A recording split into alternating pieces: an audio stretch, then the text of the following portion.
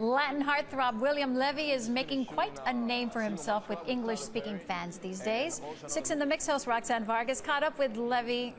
That was a tough job. And is here now with what he's up to, Roxy. Oh, Jackie, you know you took the words out of my mouth. It was a tough job, but I was glad to do it as he continues to build his successful career among his Hispanic fans. He's also looking to win the hearts of you, all of you here in South Florida, and the American market that's included.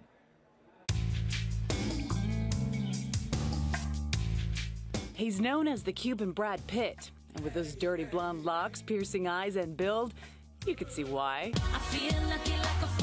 Known as a Latin heartthrob among Hispanics for years, taking on supporting roles in Telemundo soap operas, but he burst into the American market when J-Lo got cozy with William on the beach in her I'm Into You music video. And now sky's the limit for Levy as a man who can make even an M&M commercial melt. Is that made of chocolate too? And he looks to continue expanding his role into mainstream America with new film projects. I know you're definitely straddle the line back and forth between the Hispanic market and the American market. So this is a pretty big deal for you to be working with Tyler Perry, right? Yeah, yeah I had a, uh, we, we just finished shooting a, a Single Moms Club with Tyler Perry and also another movie called Addicted. And um, it's these two projects are really, really good.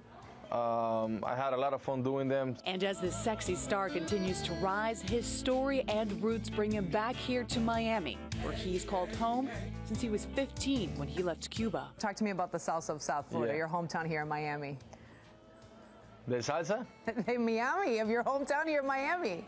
No, I love Miami. I love Miami. I miss Miami. I miss my coffee, mi pastelito de guayaba. I miss all that in Miami, man. I'm dying to go back. you know, who cares if you really don't understand what he says? He's pretty to look at, right? Well, William does call Miami home, as you heard him say, but he's currently on the West Coast filming a Spanish soap opera. But he told me he will back be back here with us very soon. We'll get that 101 in house. Live in the newsroom, Roxanne Vargas, NBC6 South Florida. I don't know about you, but I understood every single word he said. I even have some guava pastries ready for when he comes in. That yes. sounds good to me.